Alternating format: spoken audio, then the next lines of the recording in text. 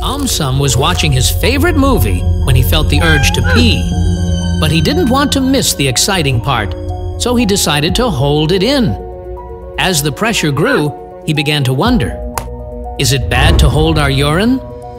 His curiosity sparked, and with a blink, AumSum shrank down and entered his own body. He landed inside a balloon like organ called the bladder. Around him was golden liquid, slowly filling the space. Huh?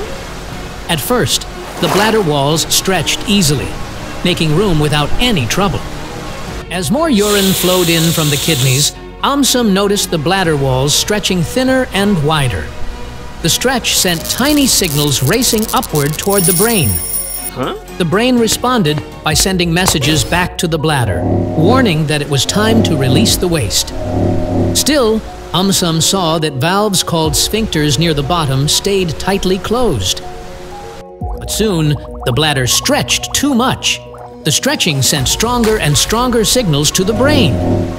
AumSum noticed something else. In the stored urine, bacteria had begun to appear. If the liquid stayed trapped for too long, the bacteria could multiply, causing painful infections. The body was clearly not meant to keep waste locked away for hours and hours.